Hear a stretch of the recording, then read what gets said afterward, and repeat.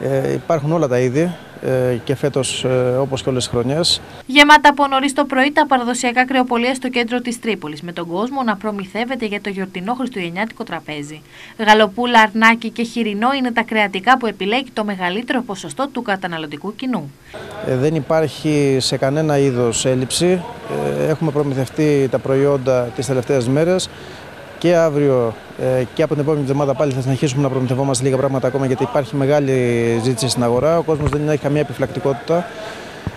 Ε, οι παραγγελίες εδώ και 10 μέρες περίπου είναι σχετικά αυξημένες, ίσως και λίγο αυξημένες από πέρσι, παρότι υπάρχει μια μικρή αύξηση στη μέση της τάξης του 10%.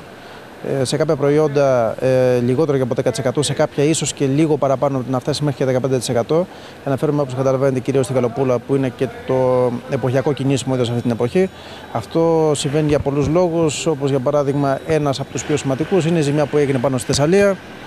Ε, έχουν περιοριστεί και εισαγωγές για φέτος. Σε σχέση με πέρσι, οι τιμές είναι ελάχιστα αυξημένες στα κρατικά προϊόντα. Κοιτάξτε, ε, θα σας πω και για την τιμή. Το γέμισμα δοκοτόβουλο που αναφέρετε είναι μια, μια κουλτούρα, αν θέλετε, η οποία υπήρχε. Απλά δεν ήταν τόσο διαδεδομένη. Ε, Παρ' όλα αυτά, ε, η γαλοπούλα φέτος έχει μια αύξηση γύρω στο 1 ευρώ ε, η ορνηθοτροφείο και γύρω στα 3 ευρώ οι χωριάτικες. Ε, είναι ένας χαρακτηρισμός. Ε, πότε, πόσο το βρίσκει δηλαδή; Δηλαδή, αν πέρσι είχαν γύρω στα 8,5 με 9 ευρώ η νηθοτροφείο και γύρω στα 9,5 με 10 ευρώ οι χωριάτικες, φέτος έχουν γύρω στα 10 ευρώ το νηθοτροφείο και περίπου 12 ευρώ οι χωριάτικες. Εξαρτάται μόνο από κάποιες ειδικές περιπτώσεις σε κάποιες μεγάλες πόλεις της Ελλάδας μπορεί να φτάσουν γύρω στα 13-14 ευρώ. Είναι, είναι ζήτημα λειτουργικό όμως, να ξέρετε, δεν είναι κάποια σχοκέρδια. Οι συνάδελφοι απλά προσαρμόζονται στις τιμές αυτές λόγω λειτουργικών εξόδων που έχουν σε αυτές τις περιοχές. Καμία αύξηση στο ανήκει στο χοιρινό ε, και αυτό έχει μεγάλη ζήτηση φέτος επίσης. Ε, Έχω ενημερωθεί και από τους συνάδελφους ανά την Ελλάδα ότι όντως αυτά τα είδη και το αρνί και το κατσίκι επίσης φέτος έχουν ε, έχουν την τιμητική τους και αρκετά, αρκετά καλά μπορώ να πω σε ποσότητα. Ε, η τιμή τους κυμαίνεται από 11,80 έως 12,80 αρνή και κατσίκι γάλακτος, το τονίζω γάλακτος αυτή γιατί υπάρχουν γάλακτος ακόμα στην εποχή και θα συνεχίσουν να βγαίνουν γάλακτος. Ε, και πάλι στην υπόλοιπη Ελλάδα, ενώ στα κέντρα, όταν αναφέρουμε ενώ στα κέντρα, γιατί εκεί υπάρχουν κάποιες διακυμάνσεις στις τιμές, δεν θα ξεπεράσει τα 14 ευρώ το κιλό. Ο κόσμος έχει ξεκινήσει τις παραγγελίες για τα κρατικά του εδώ και τουλάχιστον 10 μέρες. Κοιτάξτε, προμηθεύονται μόνο για, τη, για τα Χριστούγεννα, με εξαίρεση μόνο κάποιους πελάτες που έχουμε, οι οποίοι είναι σε απομακρυσμένες περιοχές, οπότε αναγκαστικά θα πάρουν τα προϊόντα τους. Μπορούν να ξανά. Ακριβώς, ναι, είναι κατάλαβε ζήτημα μετακινήσεων.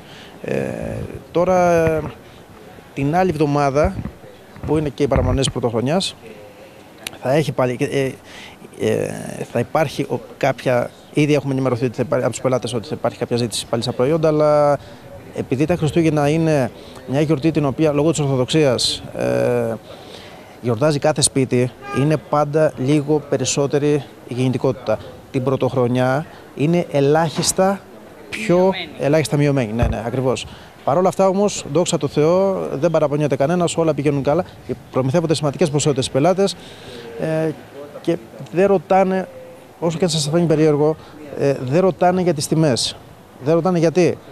Γιατί δεν είναι σημαντικές οι αυξήσεις και από ό,τι μας λένε γενικά έχουν περιορίσει τα έξοδα τους σε άλλα πράγματα, σε, σε εισαγωγικά θα το πω, σε πολλά εισαγωγικά, σε περιτά και κοιτούν ε, αυτές τις μέρες να τις περάσουν πιο, πιο ζεστά. Χρόνια πολλά σε όλους, καλές γιορτές και από, ε, το ξέρω είναι κοινότυπο, υγεία και όλα κάπως θα ρολάρουν και θα έρθουν.